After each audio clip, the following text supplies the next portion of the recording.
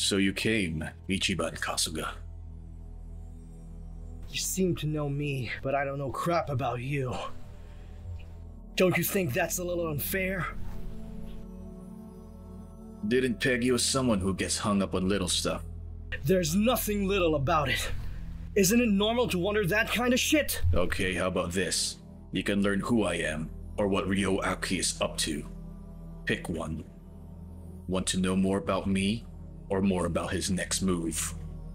I. I came here to learn about shit that'll make a difference. Good choice, but I have one condition. What now? I want to see for myself whether you and your friends are worthy of the information I have.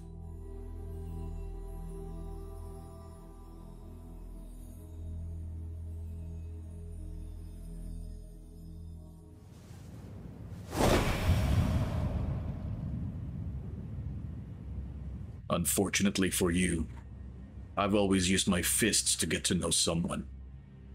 Yeah, well, normally I'm the same, but. Can't afford that now. You have the info I need. Just share it with me already. Why would I?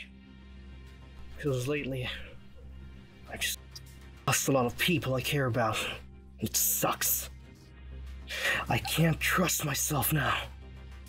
If I fight you, I don't even know if I could hold back. Listen, I could end up killing you. Hmm. Good. I'll take it. What the fuck? I'm not kidding around, man!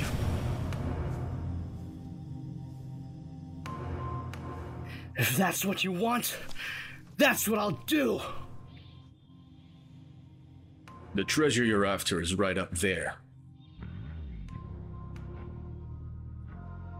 I'm the dragon guarding it.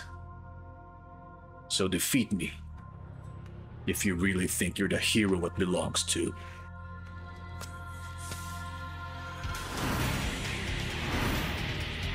You're going down! Come at me then!